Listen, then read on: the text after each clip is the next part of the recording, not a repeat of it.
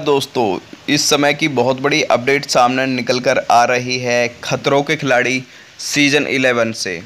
आखिर ऐसा क्या हुआ है कि रोहित शेट्टी पर जो कि एक सदस्य भड़कते नज़र आ रहे हैं? जी हाँ मैं बात करने जा रहा हूँ आज उस सदस्य की जो रोहित शेट्टी और पूरी ही मेकर्स टीम पर भड़कते हुए नज़र आ रहे हैं। वो भी बहुत ही ज़्यादा सीरियस मैटर पर। जी हाँ आज आप लोगों के सामने मैं फिर से हाजिर हूँ दोस्तों इस सच्चाई के साथ में। क्योंकि किसी के साथ में कोई बुरा नहीं होना चाहिए और ख़तरों के खिलाड़ी सीज़न 11 में एक सदस्य के साथ में ऐसा बुरा हुआ है कि हमने सोचा नहीं था, जो कि वो ऐसे एलिगेशन लगाते नज़र आएँगे। तो दोस्तों शुरुआत करते हैं इस वीडियो की। उससे पहले मैं आपको बता देना चाहता हूँ गाइज़ अगर आप मेरे यूट्यूब चैनल पर नए हैं तो जल्दी से मेरे यूट्यूब चैनल को सब्सक्राइब कीजिए। जी हाँ आज मैं आपको बताना चाहता हूँ कि राहुल वैद्य ने हाल ही में ही रोहित शेट्टी और पूरी ही मेकर्स टीम जो खतरों के खिलाड़ी सीज़न 11 को ऑर्गेनाइजेस कर रही है।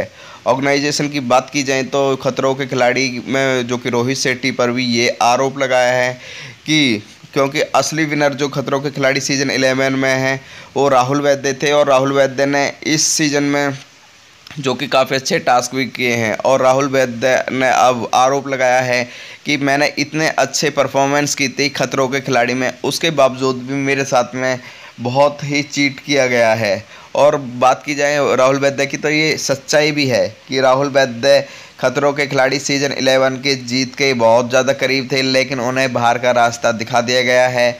और फाइनली अब राहुल वैद्य का गुस्सा फूटता हुआ भी नज़र आ रहा है।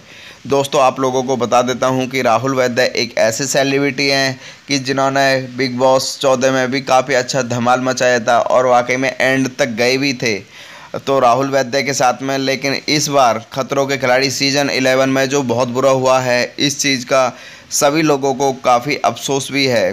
क्योंकि राहुल वैद्य और बात की जाए तो निक्की तंबोली अभिनव शुक्ला पूरी स्टार कास्ट को देखा गया था खतरों के खिलाड़ी में, लेकिन किसी ने राहुल वैद्य की साइड से साइड लेने की कोशिश नहीं की।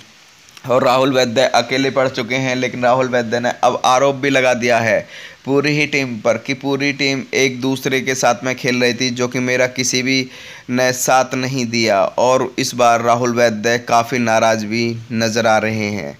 साथ ही दोस्तों, आप लोगों को अनुरोध करता हूँ कि दोस्तों, अगर आप मेरे यूट्यूब चैनल पर नए हैं तो गाइज़ जल्दी से सब्सक्राइब कीजिए। वीडियो को लाइक करके कमेंट करके ज़रूर बताइए कि आखिर आपको मेरी वीडियो कैसी लगी।